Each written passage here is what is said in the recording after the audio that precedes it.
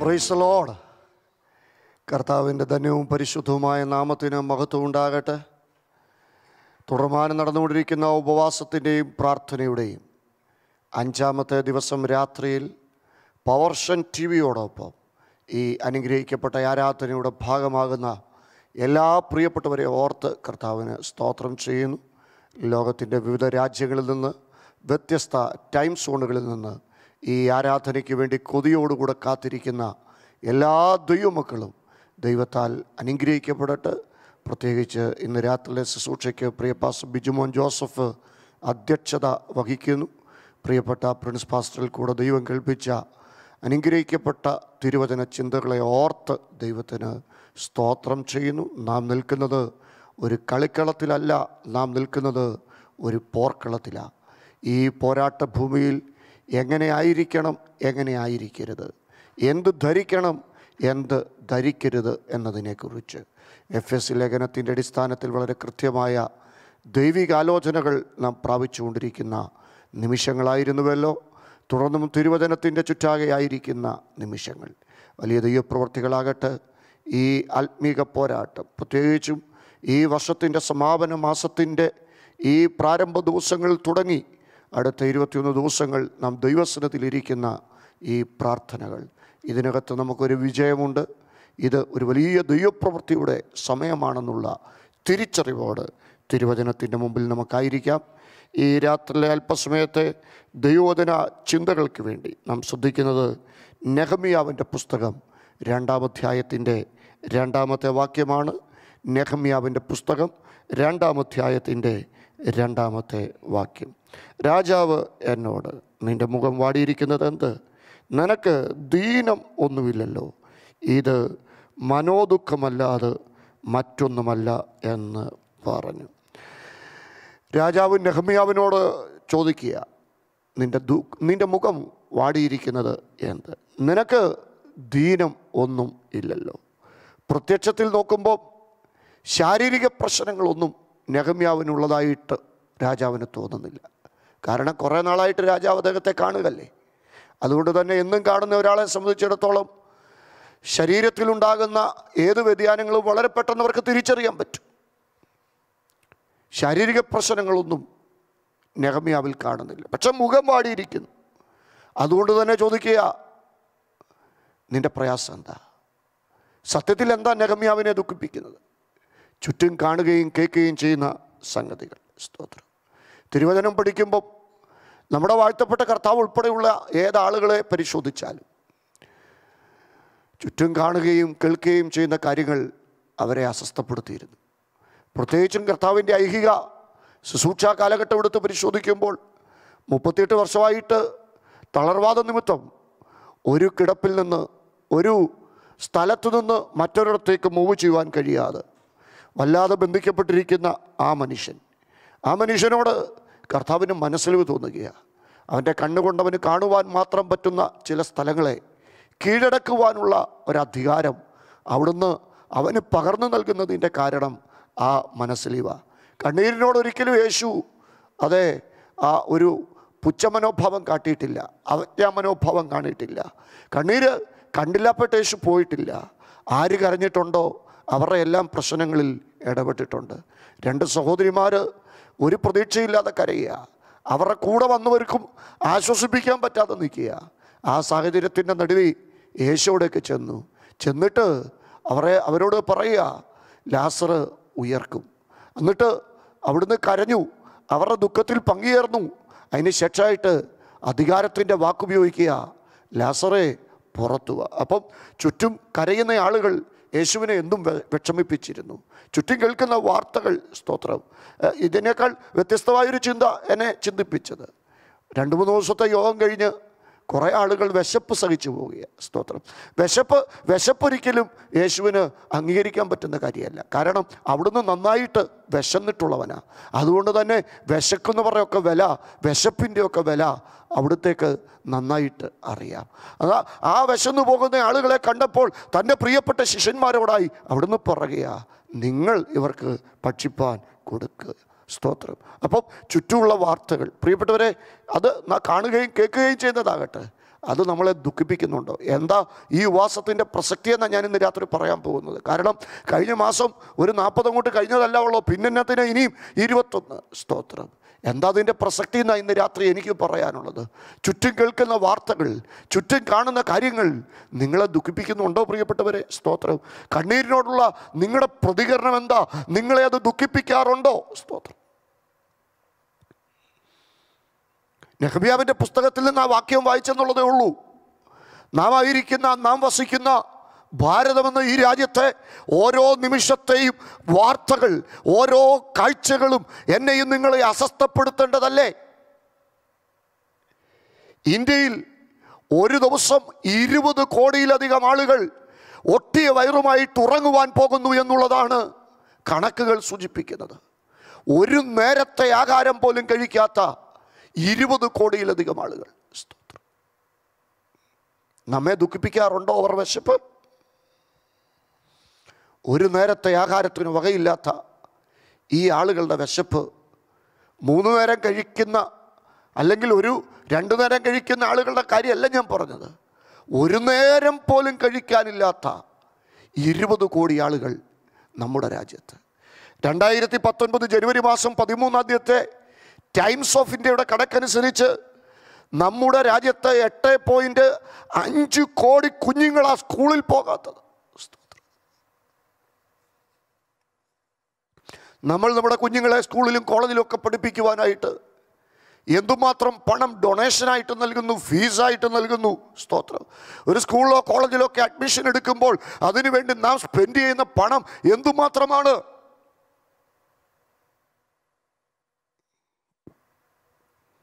പണമില്ലാത്തതിന്റെ പേരിൽ വിദ്യാഭ്യാസം നിഷേധിക്കപ്പെട്ട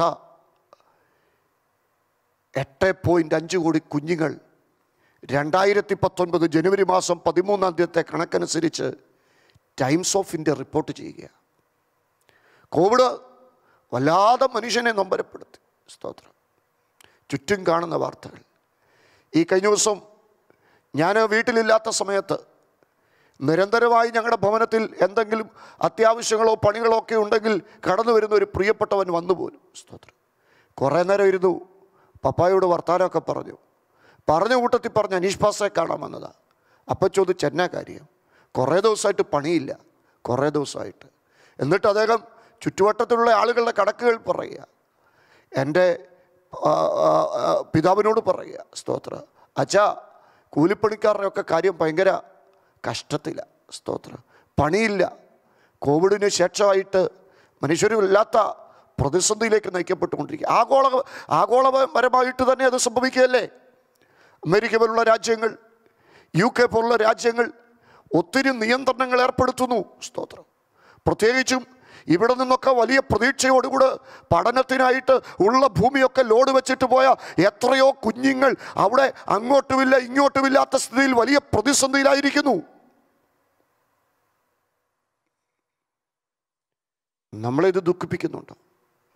ഇന്ന് പൗർഷൻ എന്ന് പറയുന്ന ഈ ഒരു വലിയ സംവിധാനത്തിന്റെ ഭാഗമായി നിന്ന് സംസാരിക്കുന്നത് കൊണ്ട് തന്നെ നിരന്തരമായി ലഭിക്കപ്പെടുന്ന നൂറുകണക്കിന് ഫോൺ കോളുകൾ പ്രിയപ്പെട്ടവരെ ചുറ്റുമുള്ള വാർത്തകൾ പണമില്ലാത്തതിന്റെ പേരിൽ വിദ്യാഭ്യാസം നിഷേധിക്കപ്പെടുന്ന കുഞ്ഞുങ്ങൾ. ഞാനിന്ന് രാത്രി പത്തോ രണ്ടായിരോ നാലായിരോ വർഷം മുമ്പ് നെഗമ്യാവ് പണിതു വരും അതിനെക്കുറിച്ച് പറയാനല്ല ആ വാക്യം വായിച്ചത്. നിനക്ക് ശാരീരിക പ്രയാസങ്ങൾ ഒന്നുമില്ലല്ലോ പിന്നെ നിന്റെ മുഖം വാടിയിരിക്കുന്നതിന്റെ കാരണം എന്താ? സ്തോത്രം. രാജാവ് നെഹമ്യാവിനോട് ചോദിക്കുക കണക്കുകൾ വീണ്ടും പറയുക. അഞ്ചിനും പതിനാലിനും ഇടയിൽ പ്രായമുള്ള ഏകദേശം പന്ത്രണ്ട് പോയിന്റ് അഞ്ച് മില്യൺ കുഞ്ഞുങ്ങളാണ് ബാലവേല ചെയ്യുന്നത് ഇന്ത്യയിൽ. അഞ്ചിനും പതിനാലിനും ഇടയിൽ പ്രായമുള്ള പന്ത്രണ്ടര മില്യൺ കുഞ്ഞുങ്ങൾ ബാലവേലയിലേക്ക് നിർബന്ധിക്കപ്പെടുന്ന ഒരു രാജ്യം. സ്തോത്രം. പ്രിയപ്പെട്ടവരെ ഞാൻ ഈ രാജ്യത്തിന്റെ ന്യൂനതകളെക്കുറിച്ച് പറയുകയല്ല. നമ്മുടെ ചുറ്റും ഉരുണ്ടുകൂടുന്ന അസ്വസ്ഥതകൾ. ഇത് നമ്മെ ദുഃഖിപ്പിക്കാറുണ്ടോ? നമ്മുടെ രാജ്യത്തിന്റെ നാളുകൾ ഭാവികൾ അത് സുഖകരമാകാൻ വേണ്ടി. രാജ്യം ഭാരതം എന്റെ നാടാണ് ഓരോ ഭാരതീയനും എന്റെ സഹോദരി സഹോദരന്മാരാണ് എന്നൊക്കെ നമ്മൾ പഠിച്ചിട്ടുള്ള ചൊല്ലിയിട്ടുള്ള പ്രതിജ്ഞകൾ. വിശക്കുന്നവർ ആഹാരത്തിന് വകയില്ലാത്തവർ നിരക്ഷരർ സ്തോത്രം. സാഹചര്യങ്ങളുടെ സമ്മർദ്ദം മൂലം വലിയ ഇരുണ്ട അനുഭവങ്ങളിലേക്ക് നയിക്കപ്പെടുവാൻ വിധിക്കപ്പെടുന്ന കുഞ്ഞുങ്ങൾ ഇവരൊക്കെ നമ്മെ ബുദ്ധിമുട്ടിപ്പിക്കാറുണ്ടോ? ഈ വാർത്തകൾ നമ്മെ അസ്വസ്ഥരാക്കാറുണ്ടോ? മറ്റൊരു വാർത്ത തന്നെ അതിനേക്കാൾ ഞെട്ടിച്ചു. ഓരോ വർഷവും ഇന്ത്യയിൽ തൊണ്ണൂറ്റി ആറായിരം കുഞ്ഞുങ്ങൾ മിസ്സിംഗ് ആകുന്നു മാൻ മിസ്സിംഗ് സ്തോത്രം. കാണാതാകുന്നു. തൊണ്ണൂറ്റി ആറായിരത്തിലധികം കുഞ്ഞുങ്ങൾ. പ്രിയപ്പെട്ടവരെ അതിൽ കൂടുതലും പേരും കടന്നു പോകുന്നത് ബാലവേലയിലേക്കും അപ്പോൾ തന്നെ നിർബന്ധിതമായ ലൈംഗിക തൊഴിലുകളിലേക്കും ഒക്കെയാണ് എന്നുള്ളത് കണക്കുകളും വാർത്തകളും നമുക്ക് കൃത്യമായിട്ട് മനസ്സിലാക്കി തരുന്നു അനാഥരുടെ എണ്ണം പെരുകുന്ന ആ അനുഭവങ്ങൾ. പ്രത്യേകിച്ചും കോവിഡാനന്തര ഭൂമി. അനാഥരുടെ എണ്ണം വല്ലാതെ പെരുകുന്ന വാർത്തകൾ. സ്തോത്രം. അപ്പോൾ തന്നെ വീടിനകത്ത് എല്ലാവരും ഉള്ളപ്പോൾ തന്നെ അനാഥത്വം വഹിക്കുന്ന എത്രയോ ആളുകൾ. ഡിപ്രഷൻ എന്ന് പറയുന്നത് ഒരു സാമൂഹിക പ്രശ്നമായി ഇന്ന് മാറിയിരിക്കുക. കോവിഡിനേക്കാൾ വലിയൊരു അർബുദമായിട്ട് കോവിഡിനേക്കാൾ വലിയൊരു വൈറസായിട്ട് ഡിപ്രഷൻ മാറുന്നു. ലഹരിക്കെതിരെയുള്ള ബോധവൽക്കരണ ക്ലാസ്സുകൾ നിരന്തരമായിട്ട് പോർഷനിൽ ശ്രദ്ധിക്കുന്ന നൂറുകണക്കിന് ആളുകൾ. സ്തോത്രം. ദൈവം തന്റെ സ്വരൂപത്തിലും സാദൃശ്യത്തിലും മനുഷ്യനെ സൃഷ്ടിച്ചത് വെറും അടിമകളാകാനല്ല. അപ്പോൾ തന്നെ ദൈവം മനുഷ്യനെ സൃഷ്ടിച്ചത് വെറും യന്ത്രങ്ങളാകുവാനുമല്ല. മനുഷ്യനെ യന്ത്രങ്ങളെ പോലെ ഉപയോഗിക്കുന്ന ആളുകൾ. ഇതൊരു കൺസ്യൂമറിസത്തിന്റെ ലോകമാണ് കൺസ്യൂമർ എന്ന ഗ്രീക്ക് വാക്കിൽ നിന്ന് കൺസ്യൂമറിസം എന്ന വാക്കുണ്ടായത്. To use maximisation of pleasure minimisation of pain സ്തോത്രം. മനഃപൂർവം സന്തോഷിക്കുവാൻ വേണ്ടി അതെ മനുഷ്യനെ ഉപയോഗിക്കുന്ന ആളുകൾ. ആ കുരുടൻ അവൻ ആദ്യം ഒരു സ്പർശനം ഉണ്ടായി യേശുവിൽ നിന്ന്. ആ സ്പർശനത്തിന് ശേഷമായിട്ട് അവൻ മനുഷ്യനെ കണ്ടുപോലും എങ്ങനെ കണ്ടു? മരം പോലെ കണ്ടു. മരത്തെ എന്നും കാണുന്നത് വിലയുടെ അടിസ്ഥാനത്തിലാണ് ആഴാന്തലും വട്ടയും റബ്ബറും കാണുന്നത് പോലല്ല ഈട്ടിയും തേക്കും കാണുന്നത്. വിലയുടെ അടിസ്ഥാനത്തിൽ. അപ്പം ചരക്കുകളായിട്ട് മനുഷ്യനെ കാണുന്ന ഒരു ലോകം. അടിമകളാകുവാനോ യന്ത്രങ്ങളാകുവാനോ അല്ല മനുഷ്യർ വിധിക്കപ്പെട്ടത്. ഒരു മനുഷ്യന്റെയും ജനനം അബദ്ധത്തിൽ സംഭവിച്ചതല്ല. സ്തോത്രം. ഒരു മനുഷ്യന്റെയും ജീവിതത്തിൽ സംഭവിക്കുന്നത് വിധിയുമല്ല. ചുറ്റും പ്രതിസന്ധികൾ വർദ്ധിക്കുമ്പോൾ ഈ അസ്ഥി കൂമ്പാരങ്ങൾ ഈ ചണ്ടി കൂമ്പാരങ്ങൾ ഈ തകർന്നു കിടക്കുന്ന അവസ്ഥകൾ ലഹരിക്കടിമപ്പെട്ട കുഞ്ഞുങ്ങൾ. ഇതൊക്കെ നമ്മെ അസ്വസ്ഥരാക്കാറുണ്ടോ?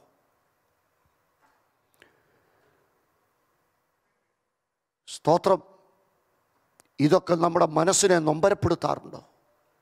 ഉണ്ടെങ്കിൽ പ്രിയപ്പെട്ടവരെ this is the time to build ഇത് പണിയുവാനുള്ള കാലമാണ് ഈ വാസപ്രാർത്ഥനയ്ക്ക് വേണ്ടി ദൈവസന്നിധിയിൽ പ്രാർത്ഥിച്ചു കൊണ്ടിരുന്നപ്പോൾ എന്റെ ഹൃദയത്തിൽ ഏറ്റവും ശക്തമായി ദൈവം ഇടപെട്ട ഒരു വാക്കാണ് ടൈം ടു ബിൽഡ് സ്തോത്രം.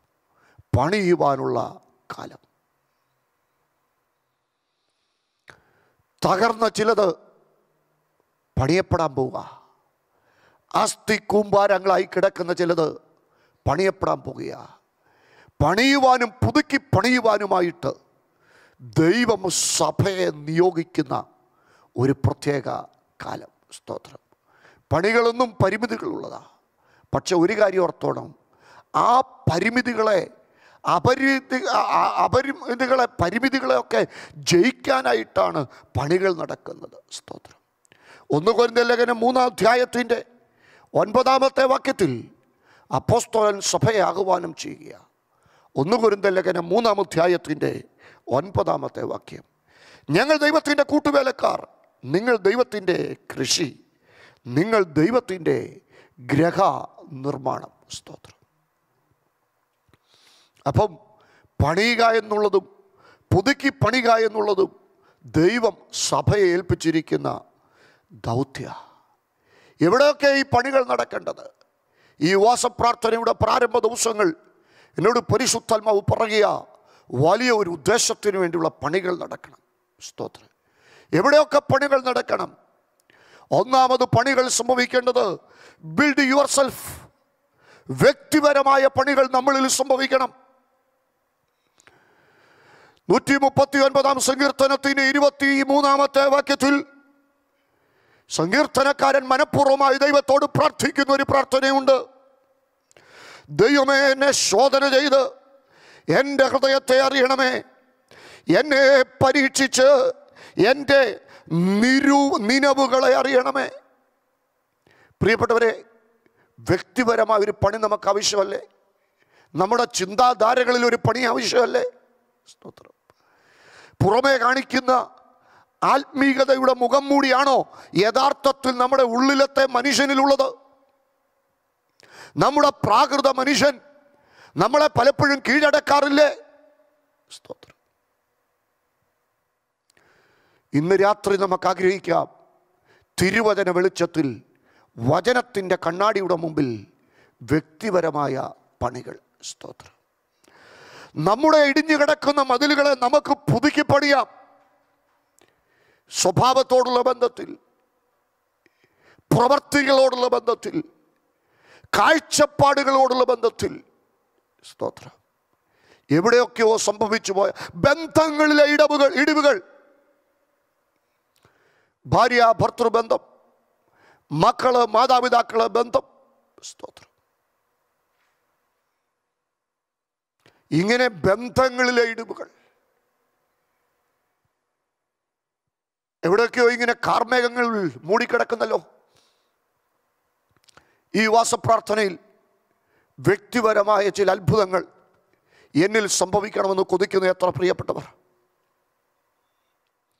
പരിശുദ്ധാത്മാവനോട് ശക്തമായിട്ട് പറയുന്നു പണ്ടുള്ളതിനെ ഓർക്കണ്ട മുമ്പുള്ളതിനെ നിരൂപിക്കണ്ട. ദൈവം ചിലത് ചെയ്യും. കാരണം this is the time to build സ്തോത്രം. ഇത് പണിയുവാനുള്ള കാലവാ ആരൊക്കെയോ പറഞ്ഞ ചില വാർത്തകൾ. സ്കൂളിൽ നിന്ന് വന്ന കുഞ്ഞിനെക്കുറിച്ച് അധ്യാപകൻ വിളിച്ചു പറഞ്ഞ വാക്ക്. വന്ന വഴിയിൽ അതിന്റെ നടപടി ദോഷത്തെക്കുറിച്ച് ആരോ സ്നേഹിക്കുന്നവർ വിളിച്ചു പറഞ്ഞ വാക്ക്. ജീവിതത്തെ വല്ലാതെ നൊമ്പരപ്പെടുത്തുന്ന ചില വാക്കുകൾ. ഇല്ല പ്രിയപ്പെട്ടവരെ ദൈവം ഈ ദിവസങ്ങളിൽ ആഗ്രഹിക്കുന്നു ഒരു പണി. സ്തോത്രം. ബിൽഡ് യുവർ സെൽഫ് നിങ്ങളിൽ പണികൾ നടക്കണം. ബിൽഡ് യുവർ ചർച്ച് സഭയ്ക്കകത്ത് പണി നടക്കണം. ബിൽഡ് യുവർ സൊസൈറ്റി സമൂഹത്തിൽ പണി നടക്കണം. സ്തോത്രം. എങ്ങനെ? കർത്തൃദാസം പറഞ്ഞതുപോലെ അരയ്ക്ക് സത്യം കെട്ടിയും നീതി എന്ന കവചം ധരിച്ചും സമാധാന സുവിശേഷീകരണത്തിനായിട്ടുള്ള ഓ അതെ ദീപം കാലിന് ചെരുപ്പാക്കിയും ഈ വാസപ്രാർത്ഥനയിൽ വ്യക്തിപരമായ ചില പണികൾ കുടുംബങ്ങളിലെ പണികൾ സ്തോത്രം. സാമൂഹികമായി സംഭവിക്കേണ്ട അത്ഭുതകരമായ പണികൾ. ശ്വാസത്തിന്റെ സപ്തകൽപ്പനകൾ എഴുതപ്പെടുന്ന യൂതയുടെ ലേഖനത്തിലേക്ക് വരുമ്പോൾ അപ്പോസ്തോലനാഹ്വാനം ചെയ്യുന്ന ഏറ്റവും വലിയ ആഹ്വാനം. സപ്തമെന്ന വാക്കിന്റെ അർത്ഥം നമുക്കറിയാം. ഏഴ്. യൂതയുടെ ലേഖനത്തിൽ വിശ്വാസത്തിന്റെ ഏഴ് കൽപ്പനകൾ എഴുതപ്പെട്ടിരിക്കുക. ഒന്നാമത്തെ കൽപ്പനയാണ് മൂന്നാമത്തെ വാക്യം വിശുദ്ധന്മാർക്കെന്നൊരിക്കലായി ഭരമേൽപ്പിച്ചിരിക്കുന്ന വിശ്വാസത്തിന് വേണ്ടി പോരാടുക. Fight hard to defend the faith വിശ്വാസത്തിന് വേണ്ടി പോരാടുക. രണ്ടാമത്തെ കൽപ്പന പതിനേഴാമത്തെ വാക്യം നിങ്ങളോ പ്രിയരെ കർത്താവായ യേശു ക്രിസ്തുവിന്റെ അപ്പോസ്തോലന്മാർ മുൻ പറഞ്ഞ വാക്കുകളെ അനുസരിക്കുക. മൂന്നാമത്തെ കൽപ്പന ഇരുപതാം വാക്യം നിങ്ങൾക്ക് തന്നെ ആത്മീക വർധന വരുത്തുക. നാലാമത്തെ കൽപ്പന ഇരുപതാം വാക്യം. പരിശു ഇരുപത്തൊന്നാം വാക്യം. പരിശുദ്ധാത്മാവിൽ പ്രാർത്ഥിക്കുക. അഞ്ചാമത്തെ കൽപ്പന ഈ ഇരുപത്തൊന്നാം വാക്യം. യേശുവിന്റെ കരുണയ്ക്കായി കാത്തിരിക്കുക. ആറാമത്തെ കൽപ്പന ഇരുപത്തി ഒന്നാം വാക്യം. ദൈവ സ്നേഹത്തിൽ നമ്മെ സൂക്ഷിക്കുക. ഏഴാമത്തെ കൽപ്പന ചിലരെ വലിച്ചെടുക്കുക. ചിലർക്ക് കരുണ കാണിക്കുക. എവിടെ നിന്നൊക്കെ വലിച്ചെടുക്കണം? ഒന്ന് സംശയിക്കുന്നവരായ ചിലരോട് കരുണ ചെയ്യുവീൻ. ചിലരെ തീയിൽ നിന്ന് വലിച്ചെടുത്ത് രക്ഷിപ്പീൻ. ജഡത്താൽ കറ പിടിച്ച് അങ്കി പോലും പകച്ചുകൊണ്ട് ചിലർക്ക് ഭയത്തോടെ കരുണ കാണിപ്പീൻ. അപ്പം മൂന്ന് കൂട്ടരെ കുറിച്ചാണ് ഇവിടെ പറയുന്നത്. ഒന്നാമത്തെ കൂട്ടർ ഇത് ഡൗട്ടിങ് സംശയിക്കുന്നവർ. ഭാര്യയെ സംശയം ഭർത്താവിനെ സംശയം മക്കളെ സംശയം സംശയ രോഗികളുടെ എണ്ണം വർദ്ധിക്കുന്നു. സംശയിക്കുന്നവരെന്ന് യൂത പറയുമ്പോൾ തന്നെ പത്രോസ് പറയുന്നുണ്ട് രണ്ട് പത്രോസ് രണ്ടിന്റെ പതിനാല്. അവർ വ്യഭിചാരനെ കണ്ട് രസിക്കുകയും പാവം കണ്ട് തൃപ്തിപ്പെടാതിരിക്കുകയും ചെയ്യുന്ന കണ്ണുള്ളവരും സ്ഥിരമില്ലാത്ത ദേഹികളെ വശീകരിക്കുന്നവരും അപ്പം അൺസ്റ്റേബിൾ സ്ഥിരതയില്ലാത്തവർ പിന്മാറ്റക്കാരെന്നൊക്കെ പറയാൻ പറ്റും. സഭകളിൽ പിന്മാറ്റക്കാരുടെ എണ്ണം വർദ്ധിക്കുന്നു. കുടുംബങ്ങളിൽ പിന്മാറ്റക്കാരുടെ എണ്ണം വർദ്ധിക്കുന്നു. വ്യക്തിപരമായി നാം നമ്മെ നോക്കുമ്പോൾ എവിടൊക്കെയോ നമ്മൾ കെട്ടിയ പുസ്തകങ്ങളുടെ ദൈവവചന പ്രകാരം കെട്ടിയ പുസ്തകങ്ങളുടെ കെട്ടുകൾ അഴിയുന്നോ എന്നൊരു സംശയം. ഈ പ്രാർത്ഥനയടകത്ത് ആ കുത്തുകൾ ഒന്നുകൂടെ ഒന്ന് മുറുക്കി കെട്ടുപോകാൻ. മനസാക്ഷിക്ക് ആക്ഷേപമില്ലാത്ത മനസാക്ഷിയെ കൂട്ടുപിടിച്ച് ചോദിച്ച് എന്നിൽ വ്യക്തിപരമായ പടികൾ നടക്കണ്ടായോ? എന്റെ കുടുംബത്തിൽ പണികൾ നടക്കണ്ടായോ? എന്റെ സഭയിൽ പണികൾ നടക്കണ്ടായോ?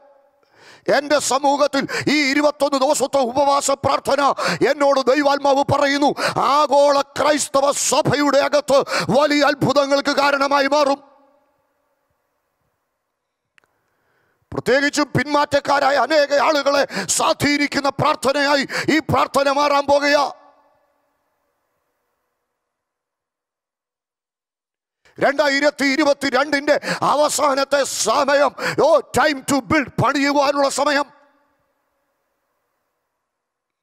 പൊളിയപ്പെടാൻ ഒരു കാലമുണ്ടെങ്കിൽ പണിയുവാൻ ഒരു കാലമുണ്ട്.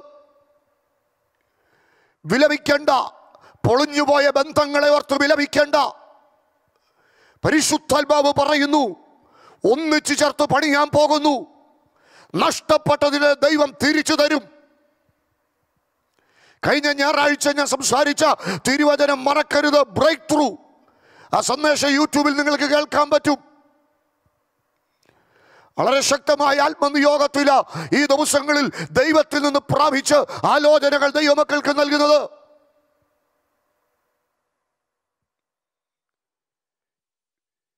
കഴിഞ്ഞ മാസം മുഴുവൻ വീട്ടിലേക്ക് മടങ്ങി വരിക എന്ന തലക്കെട്ടില സന്ദേശങ്ങൾ നൽകിയത് ഇവിടെ. ഈ മാസം ദൈവനെ ഏൽപ്പിച്ചിരിക്കുന്ന സന്ദേശം ടൈം ടു ബിൽഡ് ഇത് പണിയുവാനുള്ള സമയം. പണികൾ നടക്കും. പിന്മാറ്റക്കാരിൽ പണികൾ നടക്കും. രണ്ടാമത്തെ കാര്യം പറയാ ചിലരെ തീയിൽ നിന്ന് വലിച്ചെടുത്തു രക്ഷിപ്പീൻ. ദോസ് ദ ബേണിംഗ് സിറ്റുവേഷൻ തീക്കകത്ത് കിടക്കുന്നവർ. തീക്കകത്ത് പോയാൽ വികൃതരാകും. കാലഘട്ടം വികൃതരാക്കുന്ന മനുഷ്യർ. PUBG game blue whale mobile addictions sexual sites. സ്തോത്രം.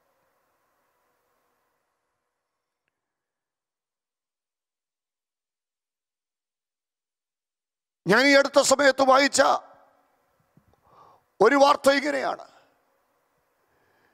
സ്വാഭാവികമായ ലൈംഗിക പ്രക്രിയയിൽ സംഭവിക്കുന്നതിനേക്കാൾ നാല് മടങ്ങ് അപ്പുറത്ത് ഉത്തേജനമാണ് ഹോർമോണുകളിൽ അതെ സെക്ഷൽ സൈറ്റ്സിലേക്ക് എത്തപ്പെടുമ്പോൾ സംഭവിക്കുന്നത്.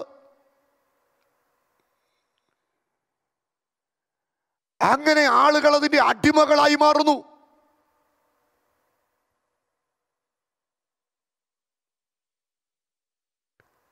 പ്രിയപ്പെട്ടവരെ വികൃതരാകുന്ന ആളുകൾ ഉൾവലിയുന്നു. പ്രകൃതത്തിൽ ഉൾവലിയുന്നു. സ്തോത്രം. എക്സ്പോസ് ചെയ്യുവാൻ കഴിയാതെ കാലഘട്ടം വികൃതരാക്കുന്ന കുഞ്ഞുങ്ങൾ ലഹരി പോലെ തന്നെ മറ്റു പല അടിമത്തങ്ങളും. ഇന്നെന്റെ ഒരു പ്രിയപ്പെട്ട സഹോദരനോട് സംസാരിച്ച കൂട്ടത്തിൽ പറയുക ആണാണോട് ചേരുന്നതും പെണ്ണ് പെണ്ണോട് ചേരുന്നതും ഒക്കെ ക്രെഡിറ്റ് ആയിട്ട് അതിനെക്കുറിച്ച് അത് അതിനുവേണ്ടി ബോധവൽക്കരണം നടത്തുന്നവരുടെ എണ്ണം വർദ്ധിക്കുന്നു എന്ന് ഞാൻ പറഞ്ഞപ്പോൾ അദ്ദേഹം പറഞ്ഞു പാസ്റ്ററെ അതൊക്കെ കഴിഞ്ഞു. ഏറ്റവും പുതിയ ചിന്താധാരകൾ എഴുന്നേറ്റ് കഴിഞ്ഞു. പൂച്ചകളാണ് ഞങ്ങൾ അതുകൊണ്ട് നിങ്ങളല്ലേ ഞങ്ങളെ മനുഷ്യരായി കാണുന്നത്. ഞങ്ങൾ പൂച്ചകളാണ്. അതുകൊണ്ട് ഞങ്ങൾ പൂച്ചകളുടെ കൂടെ ശയിക്കുന്നതിന് എന്നാ തെറ്റെന്ന് ചോദിക്കുന്ന ആളുകൾ ഞങ്ങൾ മരങ്ങളാണ്. ഞങ്ങൾ മരത്തിന്റെ കൂടെ ശയിക്കുന്നത് കൊണ്ട് തെറ്റെന്ന നിങ്ങൾക്കല്ലേ ഞങ്ങൾ മനുഷ്യർ? ഞങ്ങൾ മനുഷ്യരല്ല എന്ന് പറയുന്ന ആളുകളുടെ എണ്ണം വർദ്ധിക്കുന്നു. ഐഡന്റിറ്റി ക്രൈസസ് അസ്തിത്വ നഷ്ടപ്പെടുന്ന മനുഷ്യർ.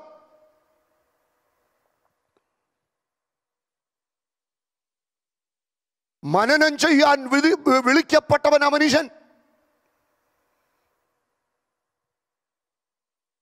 ഞാൻ എപ്പോഴും പറയുന്നത് പോലെ മനുഷ്യന്റെ തലച്ചോറ് പോലൊരു കമ്പ്യൂട്ടർ മനുഷ്യന്റെ കണ്ണ് പോലൊരു ക്യാമറ മനുഷ്യന്റെ കൈ പോലൊരു യന്ത്രം മനുഷ്യന്റെ ഹൃദയം പോലൊരു പമ്പ് മനുഷ്യന്റെ യാന്ത്രിക അവയവങ്ങൾ പോലൊരു ഫാക്ടറി മനുഷ്യന്റെ തൊക്ക് പോലെ സ്വയം ചികിത്സിക്കുന്ന ഒരു വ്യവസ്ഥിതി.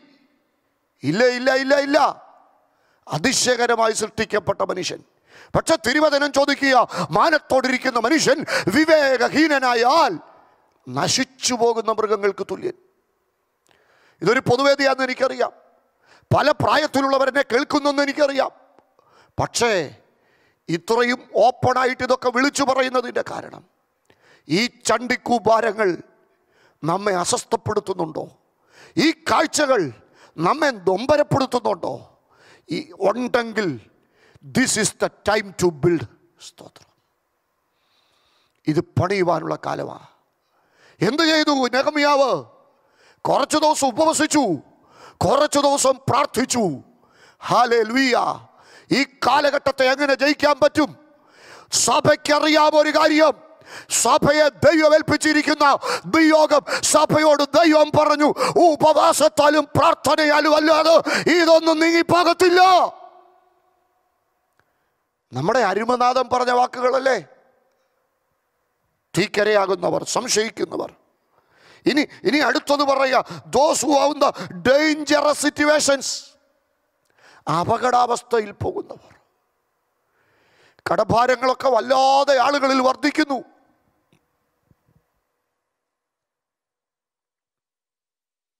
ലക്ഷക്കണക്കിന് രൂപയുടെ കടം പേറുന്ന ആളുകൾ. ആത്മഹത്യകളുടെ എണ്ണം പെരുകുന്നു. ഞാനിന്ന് രാത്രി സംസാരിക്കുന്നത് ഒരു സംവിധാനത്തിനെതിരായിട്ടല്ല. ഒരു വ്യക്തിക്കോ ഒരു ഭരണകൂടത്തിനോ ഒരു സംവിധാനത്തിനോ എതിരായിട്ട് സംസാരിക്കുകയല്ല. ഇതെല്ലാം ഏറ്റവും നന്നായിട്ട് തന്നെ പ്രയത്നിക്കുകയും പ്രവർത്തിക്കുകയും ചെയ്യുമ്പോൾ തന്നെ. നമ്മുടെ ഗവൺമെന്റുകളൊക്കെ ശ്ലാഘിക്കേണ്ടത് ആവശ്യമാണ് കാരണം ലഹരിക്കൊക്കെ എതിരെ അവർ നടത്തുന്ന ബോധവൽക്കരണ പരിപാടികൾ. അതുപോലെ തന്നെ ഈ സെക്ഷൽ സൈറ്റ്സിനൊക്കെ എതിരെ വളരെ കൃത്യമായ അതെ നിയമ സംവിധാനങ്ങൾ ഏറ്റവും അപ്ഡേറ്റ് ആയിട്ട് ചെയ്യുവാൻ ശ്രമിക്കുന്ന ഭരണകൂടങ്ങൾ.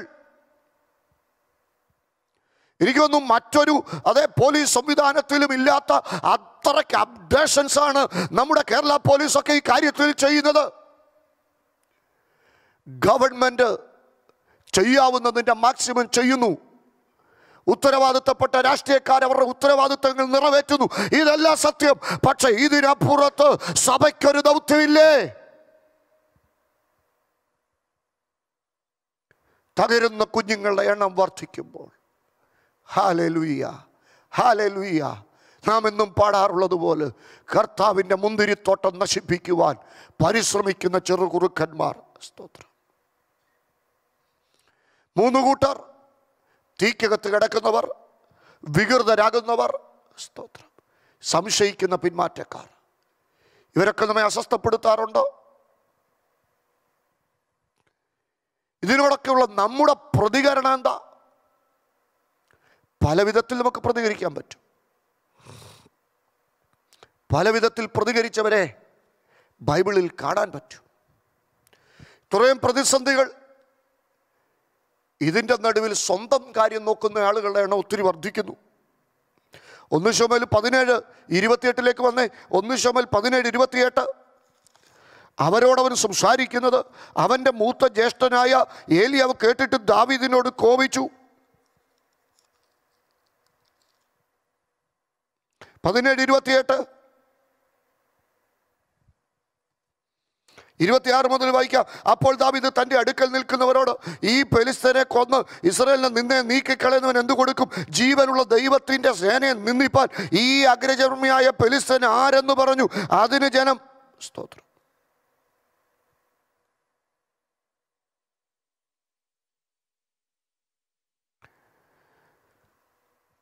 ഓഫറുകളൊക്കെ പറയാ. ഇത് കേട്ടപ്പം ഇരുപത്തിയെട്ട് പതിനേഴ് ഇരുപത്തെട്ട് അവരോടവൻ സംസാരിക്കുന്നത് അവന്റെ മൂത്ത ജ്യേഷ്ഠൻ ഏലിയാവ് കേട്ടിട്ട് അവനോട് കോപിച്ചു.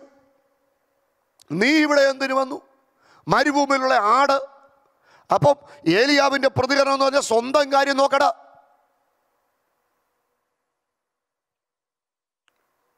നീ എന്നാത്തിന് നിന്നെ ആരേപ്പിച്ചു മറ്റുള്ളവരുടെ കാര്യം? ഒരുപക്ഷെ നിങ്ങളോടും ഒരിക്കലെങ്കിലും ആളുകൾ ചോദിച്ചിട്ടില്ലേ? എന്തിനാ ഈ പവർഷം പറയുമ്പോഴൊക്കെ നിങ്ങൾ ഉപസിക്കുന്നത് നിങ്ങൾക്ക് നിങ്ങളുടെ കാര്യം നോക്കിയാൽ പോരായോ? സ്തോത്രം. അപ്പം ഒന്നാമത്തെ പ്രതികരണം അത് അന്നുകൊണ്ട് ഇന്നുകൊണ്ട് എന്നുകൊണ്ട് ആരായി ദാവീദിനോട് ചോദിക്കുന്നത്? നീ എന്നാത്തിനാ നിന്റെ കാര്യം നോക്കാതെ നീ ഇവിടെ പെലിസ്തന്റെ കാര്യത്തെ ഇടപെടാൻ വന്നിരിക്കുന്നെന്ന് ചോദിക്കുന്നത് ആരാ? ഏലിയാവ് സ്വന്തം സഹോദരൻ പക്ഷേ അഭിഷേകത്തോടുള്ള ബന്ധത്തിൽ പറ. അഭിഷേകം എന്തെന്നറിയാത്തവൻ. അഭിഷേകം എന്തെന്നറിയാത്ത ഏലിയാവിന്റെ അടുക്ക എന്നെ എടുക്കണം? ഒറ്റ കാര്യം ചെയ്യാനുള്ള ഒഴിഞ്ഞു മാറണം. തർക്കിച്ചിട്ട് കാര്യമില്ല ആർഗ്യൂ ചെയ്തിട്ട് കാര്യമില്ല പറഞ്ഞു മനസ്സിലാക്കാൻ ശ്രമിച്ചിട്ടും കാര്യമില്ല. മിണ്ടാതിരിക്കണം. അഭിഷേകം നഷ്ടപ്പെട്ട ശൗലിന്റെ അടുക്കൽ ദാവീദ് കാര്യം പറഞ്ഞു കൊടുത്തു. അഭിഷേകത്തിന് എതിര് നിൽക്കുന്ന ഓ ഗോലിയാത്തിന്റെ നേരെ അവൻ ചെന്നു. അപ്പം പ്രശ്നങ്ങളോടുള്ള നമ്മുടെ പ്രതികരണം നാം സ്വന്തം കാര്യം നോക്കുന്നവരാണോ?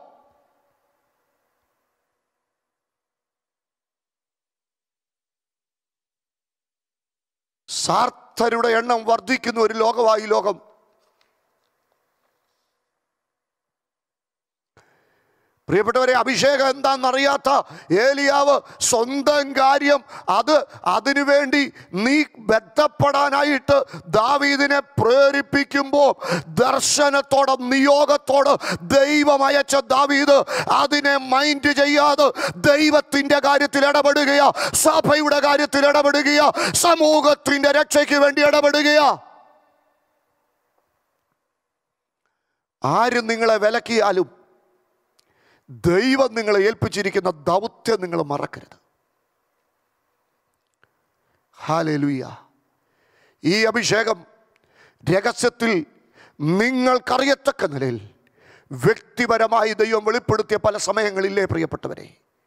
അങ്ങനെ രഹസ്യത്തിൽ വെളിപ്പെട്ട അഭിഷേകം ആ അഭിഷേകത്തിന്റെ ശക്തിയോടുകൂട് ഇന്ന് പരസ്യമായിട്ട് ദൈവം നിങ്ങളെ കൊണ്ട് നിർത്തിയത് എന്തിനു വേണ്ടി എന്ന് ചോദിച്ചാൽ ഞാൻ ഉറക്കെ പറയും this is the time to build ഇത് പണിയാനുള്ള സമയമാണ്.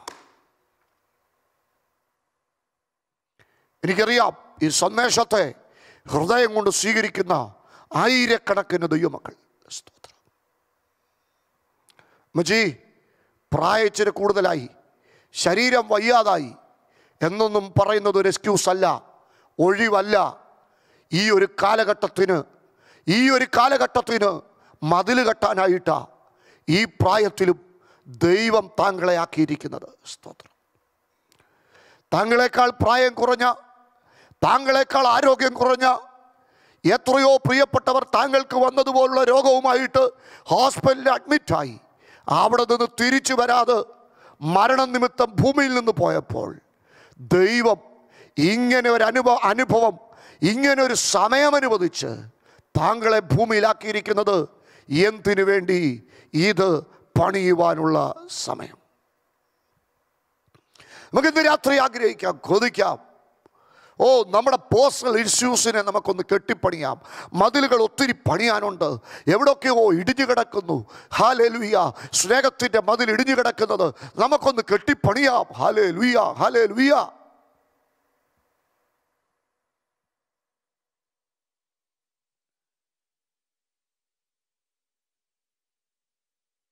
ഇടിഞ്ഞു കിടക്കുന്ന മതിലുകളോട്.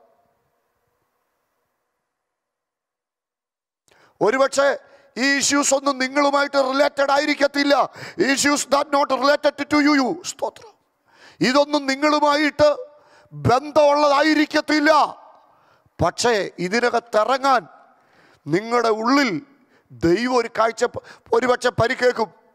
പൊള്ളലേക്കുന്നവനെ വലിച്ചെടുക്കാൻ പോകുമ്പോൾ എവിടെയെങ്കിലും ഒക്കെ ശരീരത്തിൽ ചൂടേലും തട്ടാതിരിക്കുമോ ഇതിനോട് പല വിധത്തിലുള്ള മനോഭാവങ്ങൾ നമുക്ക് പുലർത്താൻ പറ്റും. ഐ ഡോണ്ട് കെയർ ആറ്റിറ്റ്യൂഡ് എനിക്കിതൊന്നും ബാധകമല്ല.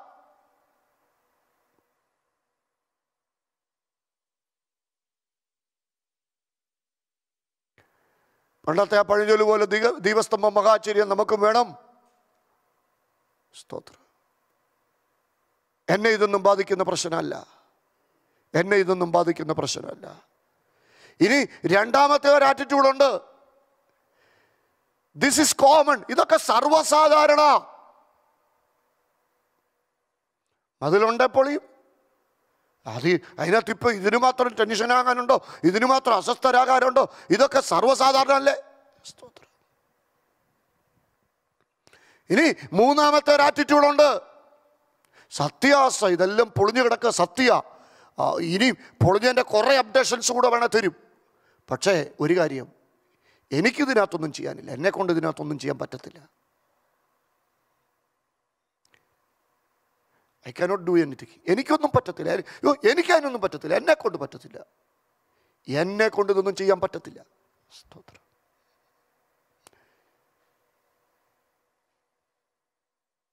This is a big issue I cannot handle this എനിക്കിതൊന്നും ഇതൊന്നും ഹാൻഡിൽ ചെയ്യാനുള്ള കഴിവില്ല.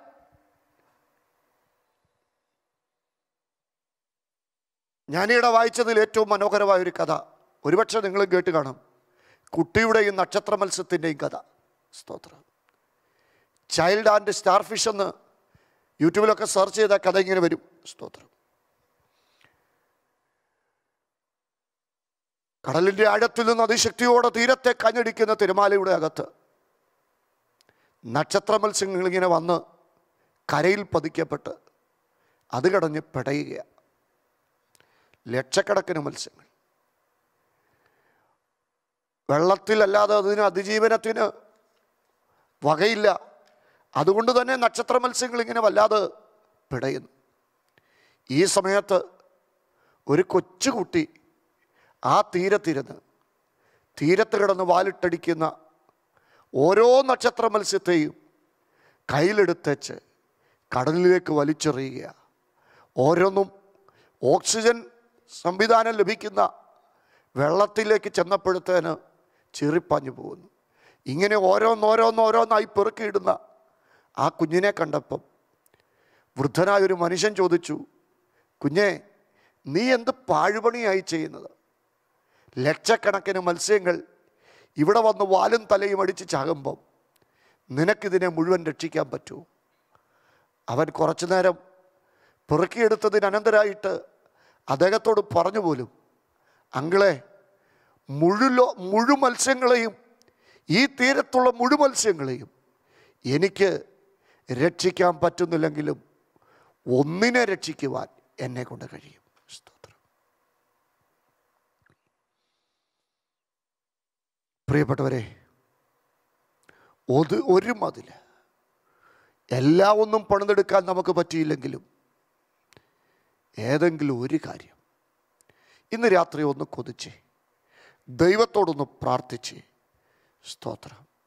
കർത്താവെ ഒത്തിരി പേരെ ഒന്നും കീഴടക്കാൻ പറ്റിയില്ലെങ്കിലും ഒത്തിരി പേരെ ജയിക്കാൻ പറ്റിയില്ലെങ്കിലും ഒത്തിരി പേരെ തിരുത്താൻ പറ്റിയില്ലെങ്കിലും ഒരു ദൗത്യമെങ്കിലും പൂർത്തീകരിക്കുവാൻ എന്നെ പ്രാപ്തനാക്കണമെന്ന് ഇന്ന് രാത്രി എത്ര പേര് ദൈവത്തോട് പ്രാർത്ഥിക്കും?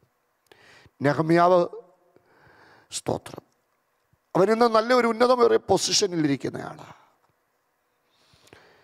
ശമ്പളം മേടിക്കുന്ന ഉദ്യോഗസ്ഥനാണ് പക്ഷേ സ്തോത്രം അഹല്യാവിന്റെ മകനായ നെഹമ്യാവിനെ ആ കാര്യം അസ്വസ്ഥനാക്കുക അവന് വ്യക്തിപരമായിട്ട് പ്രശ്നമൊന്നുമില്ല. പക്ഷേ അവൻ ദുഃഖിക്കുന്നു. എന്നാ ദുഃഖത്തിന്റെ കാരണം? ഒറ്റ കാര്യം.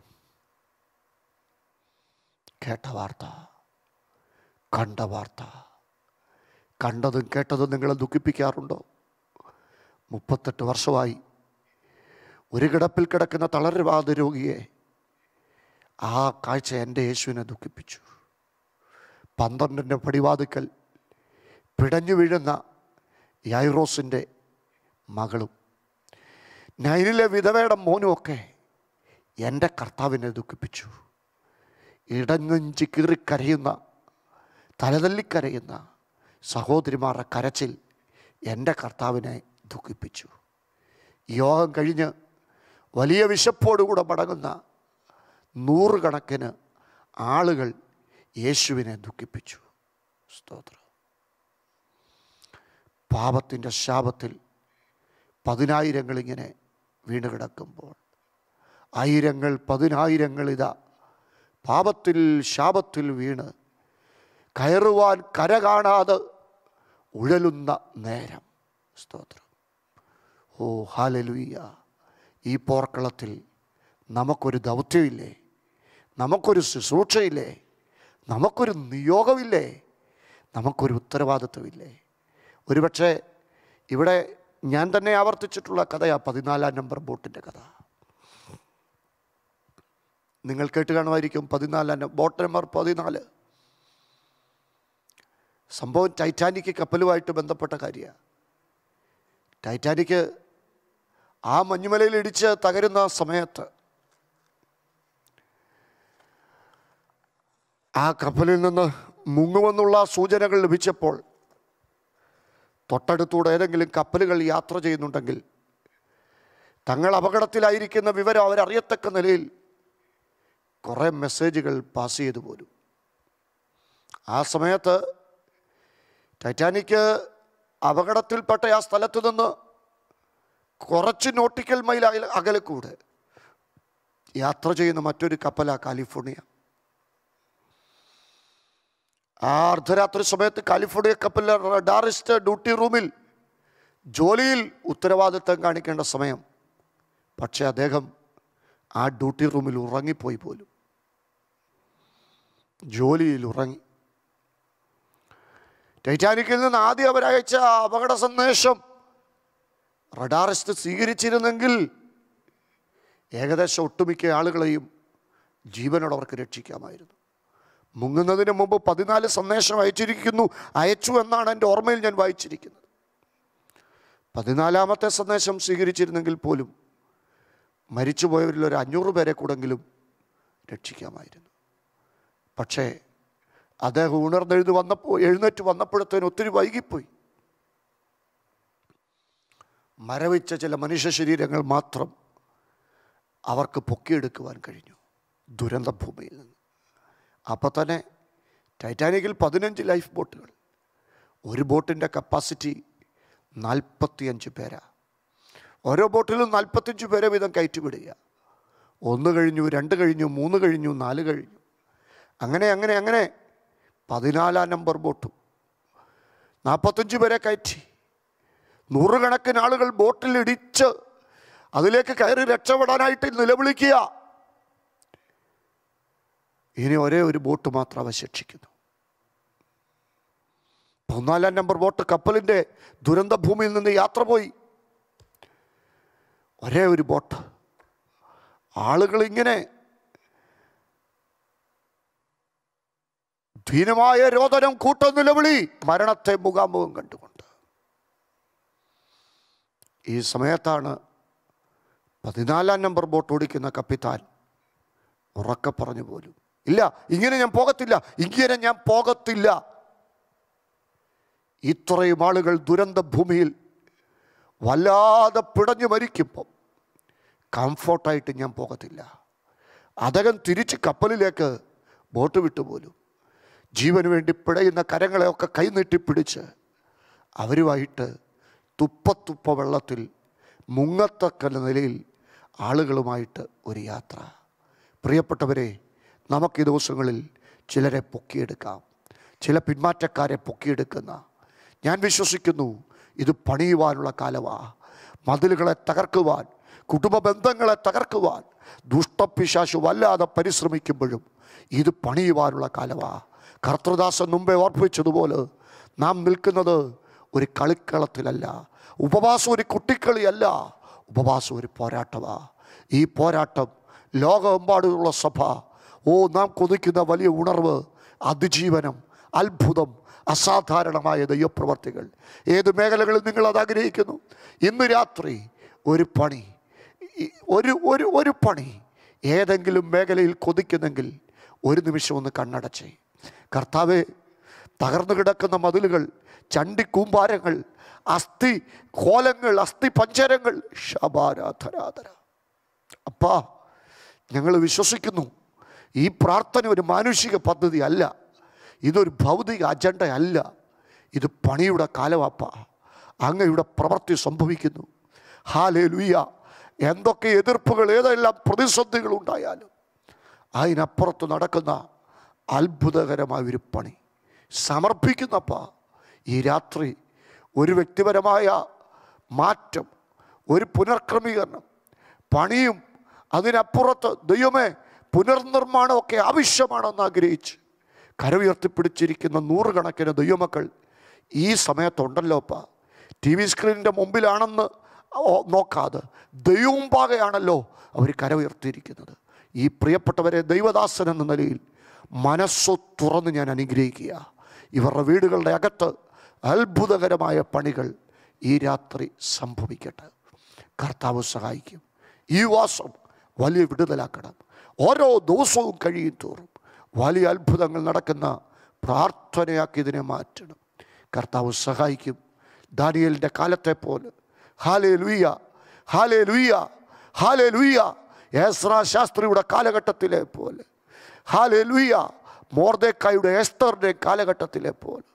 എല്ലാറ്റിലുപരി ഞങ്ങളുടെ കർത്താവിന്റെ ആ കാലത്തെ പോലെ നിയോഗത്തിൽ ഉപവാസത്തിൽ വലിയ അത്ഭുതം അനുഭവിപ്പാൻ എല്ലാ ജനത്തെയും സഹായിക്കും. യേശുവിൻ നാമത്തിൽ തന്നെ ആമൻ. ഇത് പണിയുവാനുള്ള കാലം. വിശ്വാസത്തോട് ചേർന്ന് പാടാം. ചേർന്ന് പാടി ദൈവത്തെ സ്തുതിക്കാം.